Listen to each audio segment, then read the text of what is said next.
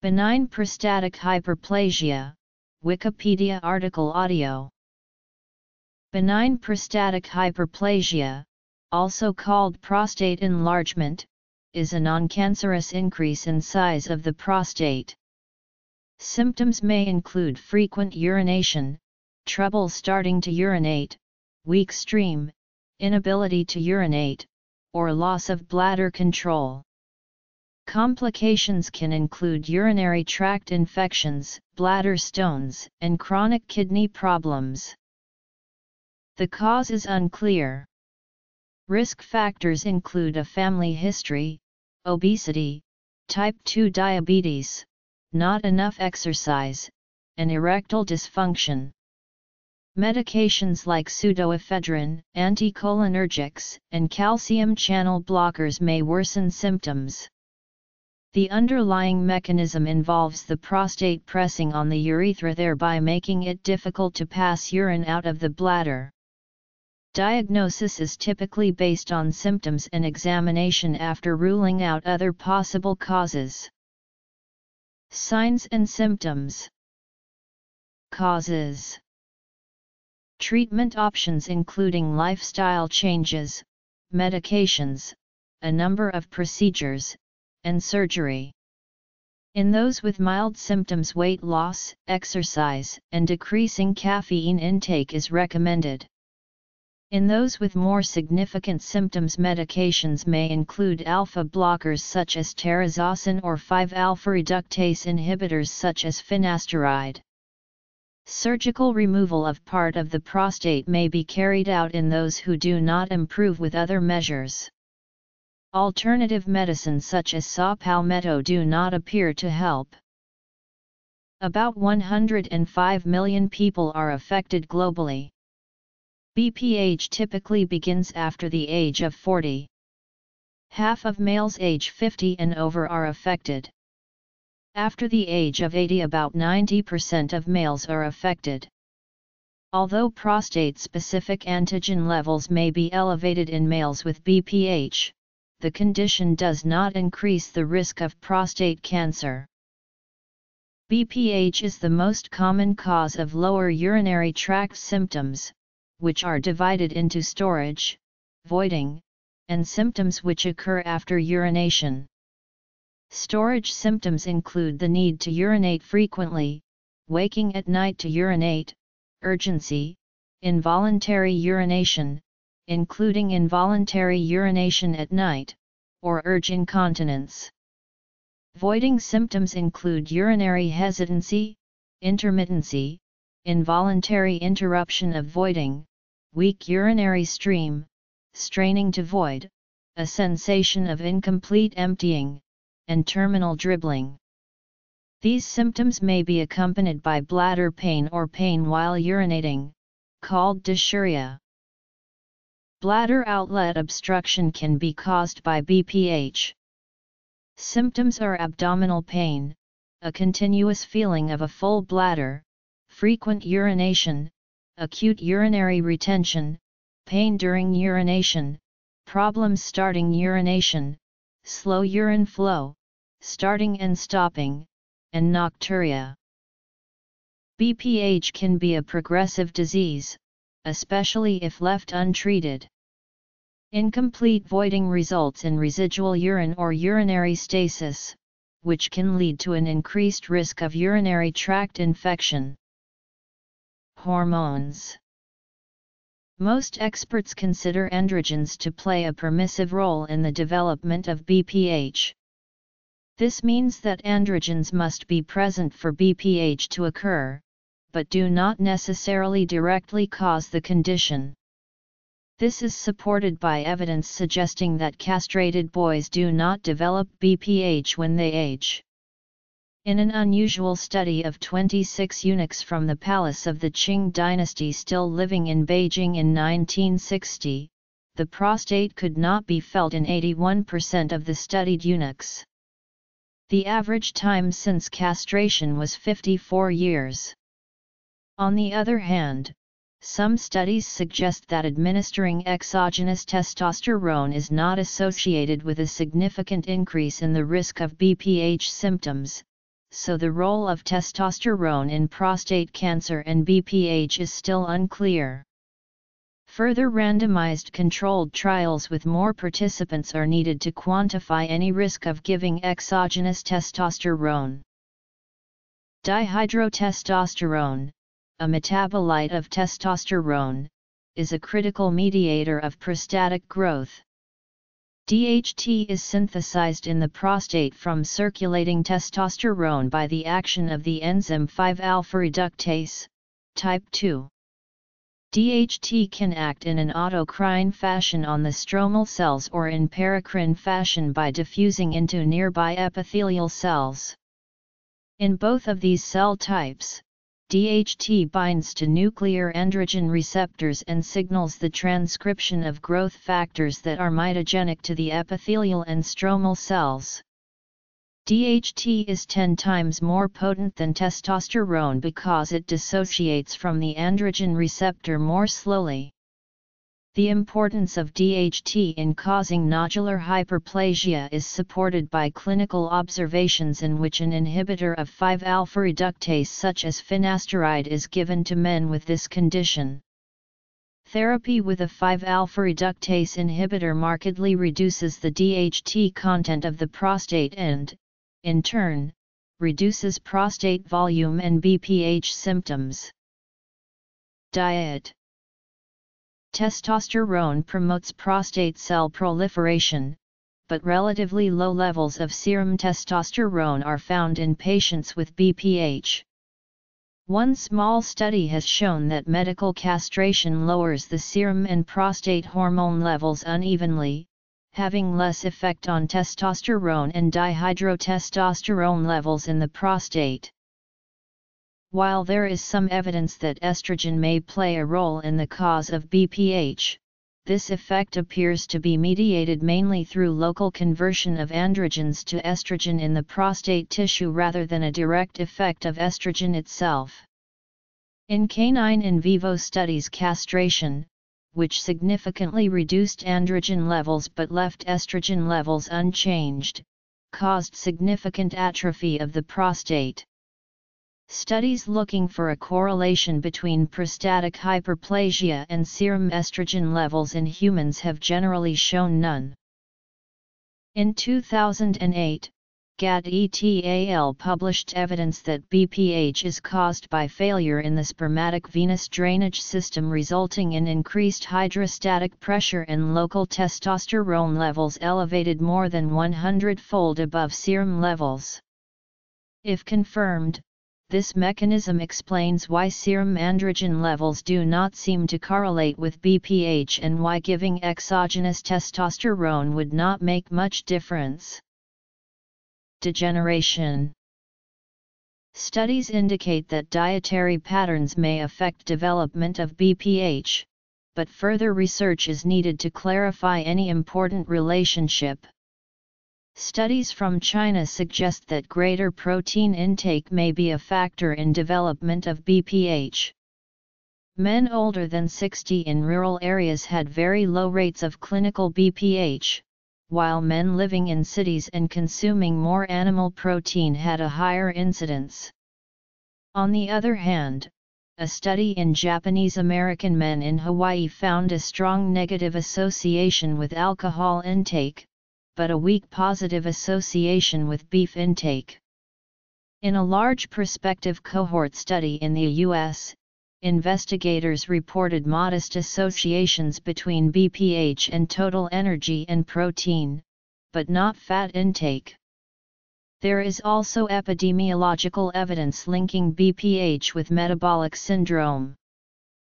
Pathophysiology Benign prostatic hyperplasia is an age-related disease. Misrepair accumulation aging theory suggests that development of benign prostatic hyperplasia is a consequence of fibrosis and weakening of the muscular tissue in the prostate. The muscular tissue is important in the functionality of the prostate, and provides the force for excreting the fluid produced by prostatic glands. However, repeated contractions and dilations of myofibers will unavoidably cause injuries and broken myofibers. Myofibers have a low potential for regeneration, therefore, collagen fibers need to be used to replace the broken myofibers. Such misrepairs make the muscular tissue weak in functioning, and the fluid secreted by glands cannot be excreted completely. Then, the accumulation of fluid in glands increases the resistance of muscular tissue during the movements of contractions and dilations, and more and more myofibers will be broken and replaced by collagen fibers. Diagnosis As men age, the enzymes aromatase and 5-alpha reductase increase in activity. Aromatase and 5-alpha reductase are responsible for converting androgen hormones into estrogen and dihydrotestosterone, respectively. This metabolism of androgen hormones leads to a decrease in testosterone but raised levels of DHT and estrogen. Estrogen has a key role in the growth of cells in the prostate and DHT is an anabolic hormone many times more potent than testosterone that when combined, cause a synergy to induce BPH. Both the glandular epithelial cells and the stromal cells undergo hyperplasia in BPH.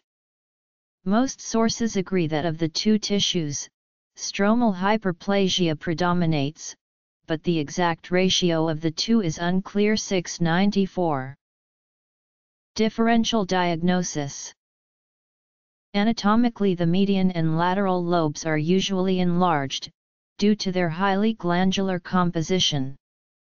The anterior lobe has little in the way of glandular tissue and is seldom enlarged. The earliest microscopic signs of BPH usually begin between the age of 30 and 50 years old in the pug, which is posterior to the proximal urethra 694 in BPH. The majority of growth occurs in the transition zone of the prostate 694 in addition to these two classic areas. The peripheral zone is also involved to a lesser extent 695 prostatic cancer typically occurs in the PZ. However, BPH nodules, usually from the TZ are often biopsied anyway to rule out cancer in the TZ695 however, prostate cancer most frequently occurs in the PZ rather than the TZ, thus, chippings taken from the PZ are of limited use. The clinical diagnosis of BPH is based on a history of LUTS, a digital rectal exam, and exclusion of other causes of similar signs and symptoms. The degree of LUTS does not necessarily correspond to the size of the prostate. An enlarged prostate gland on rectal examination that is symmetric and smooth supports a diagnosis of BPH. However, if the prostate gland feels asymmetrical, firm, or nodular, this raises concern for prostate cancer. Urinalysis is typically performed when LUTS are present and BPH is suspected to evaluate for signs of a urinary tract infection, glucose in the urine, or protein in the urine.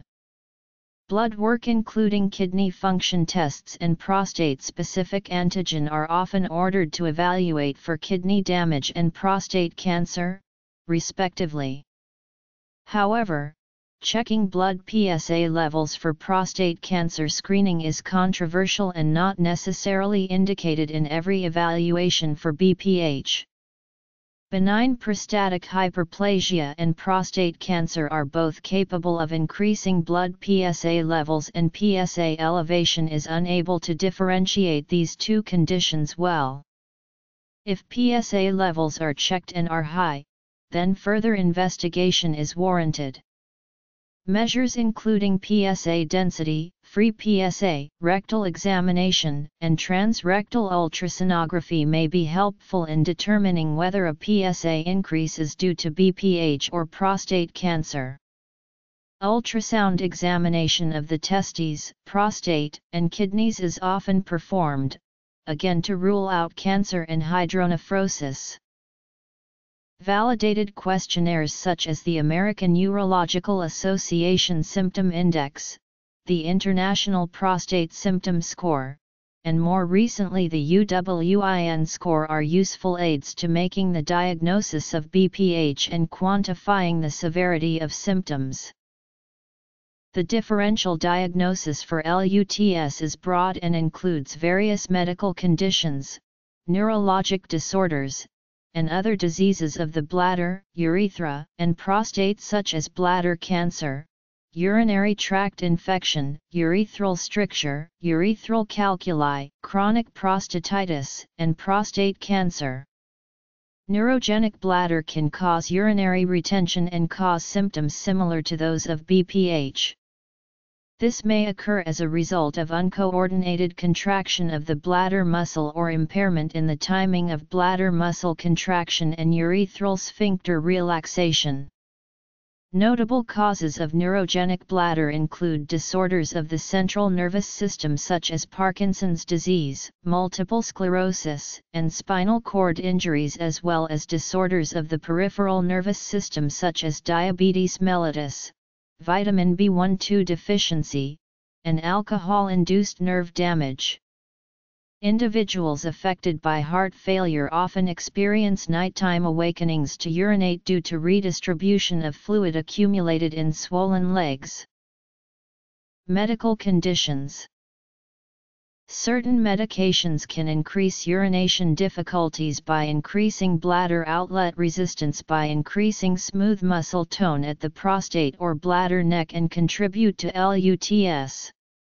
Alpha-adrenergic agonist medications, such as decongestants with pseudoephedrine can increase bladder outlet resistance.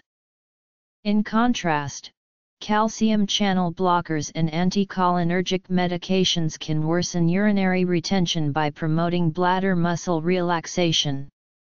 Diuretic medications such as loop diuretics or thiazides can cause or worsen urinary frequency and nighttime awakenings to urinate. Medications Micrograph showing nodular hyperplasia of the prostate from a transurethral resection of the prostate. H&E stain.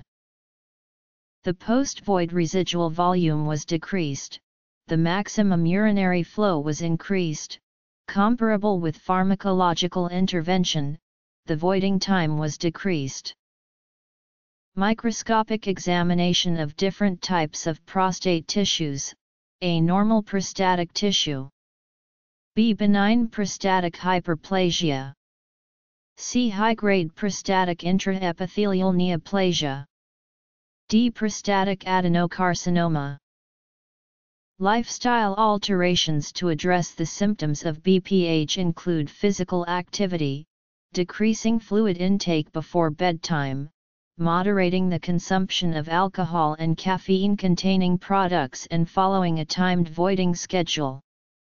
Patients can also attempt to avoid products and medications with anticholinergic properties that may exacerbate urinary retention symptoms of BPH, including antihistamines, decongestants, opioids, and tricyclic antidepressants.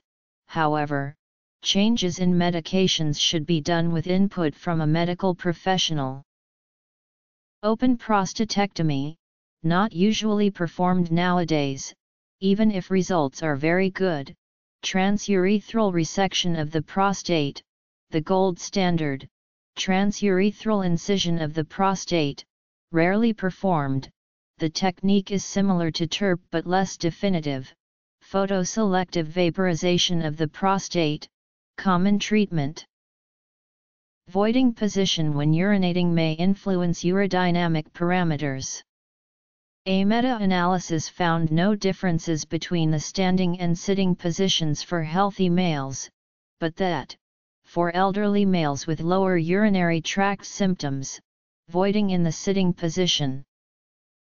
Management Lifestyle Voiding position Medications 2 this urodynamic profile is associated with a lower risk of urologic complications, such as cystitis and bladder stones.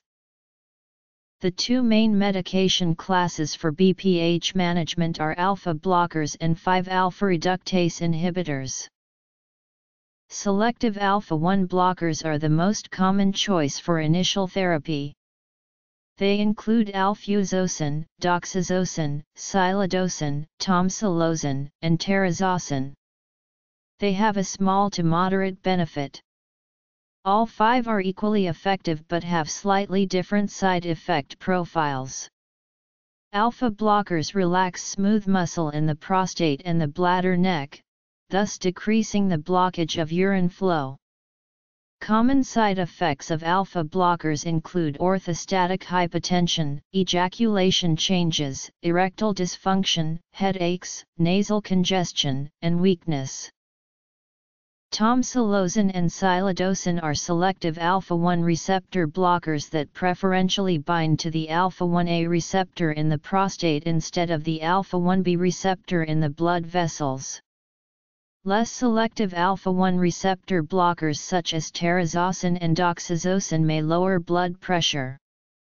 The older, less selective alpha-1 adrenergic blocker prazosin is not a first-line choice for either high blood pressure or prostatic hyperplasia, it is a choice for patients who present with both problems at the same time. The older, broadly non-selective alpha blocker medications such as phenoxybenzamine are not recommended for control of BPH. Non-selective alpha blockers such as terazosin and doxazosin may also require slow dose adjustments as they can lower blood pressure and cause syncope if the response to the medication is too strong. The 5-alpha reductase inhibitors finasteride and dutasteride may also be used in men with BPH. These medications inhibit the 5-alpha reductase enzyme, which, in turn, inhibits production of DHT, a hormone responsible for enlarging the prostate. Effects may take longer to appear than alpha blockers, but they persist for many years.